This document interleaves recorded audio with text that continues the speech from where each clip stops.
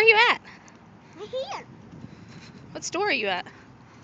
Home Depot. What are you doing at Home Depot? Nothing. Nothing. Yeah.